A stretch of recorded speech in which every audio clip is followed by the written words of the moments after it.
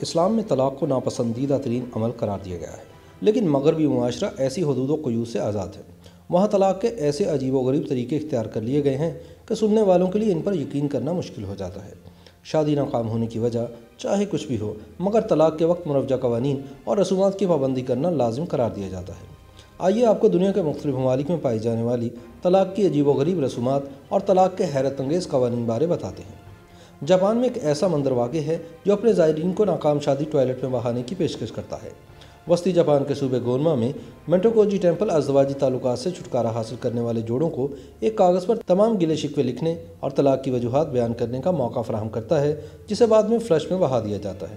یہ سن دو ہزار کی بات ہے، جب جرمنی میں ایک پادری ماگوٹ کاسمین نے ملک کے تمام گرجا گھروں میں طلاق کے موقع پر ماتم کی رسم ادا کرنے کی تجویز پیش کی، جس کے بعد ان کی تجویز پر گرجا گھروں میں طلاق کے موقع پر بڑے پیمانے پر ماتم کی رسم ادا کی گئی۔ ان تقریبات میں دونوں فریقین دوستوں اور رشتہ داروں کو اپنی شادی کی ناکامی کی وجوہات سے آگاہ کرتے ہیں اور ماتم کنا ہوتے ہیں۔ جیننگ افراد چین کی ایک اقلیتی نسل سے تعلق رکھتے ہیں، جن کے ہاں طلاق کا ایک مخصوص طریقہ ہے، جس کے مطابق طلاق کے سرٹیفکیٹ پر دستخط گھر کے اندر نہیں کیے جاتے اور دستخط کرنے کے فوراً بعد قلم اور دوات کو برا شگن سمجھ کر دور پھینک دیا جاتا ہے۔ دنیا میں فلپین واحد ملک ہے، جس کا قانون آج بھی اپنے شہریوں کو طلاق کی اجازت نہیں دیتا۔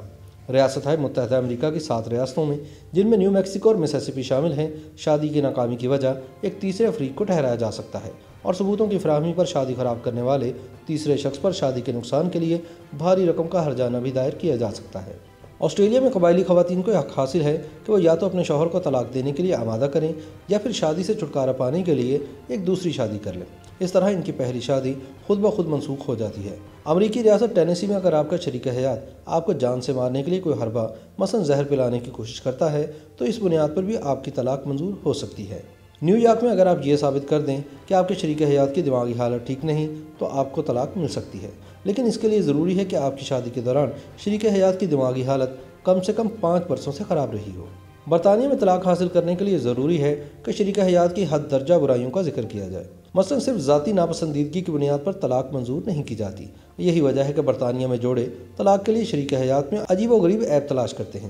جیسا کہ ایک شوہر نے طلاق کے مقدمے میں کہا کہ وہ اپنی بیوی کو اس لیے طلاق دینا چاہتا ہے کیونکہ وہ ہر روز مچھلی پکاتی ہے۔ یوٹیوب پر گوگلی نیوز دیکھنے کے لیے یوٹیوب ڈاٹ کام کی سرچ بار میں گوگلی نیوز ٹی وی ٹائپ کریں۔ گوگلی نیوز کے پیج پر سرخ رنگ کے سبسکرپشن والے بٹن پر کلک کرنا نہ بھولیے۔ یوٹیوب پیج پر اپلوڈ ہونے والی ویڈیوز سے باخبر رہنے کے لیے بیل آئیکن پر کلک کیجیے۔ آپ کو ہر نئی ویڈیو کے بارے میں نوٹیفیکیشن موصول ہو جائے گا۔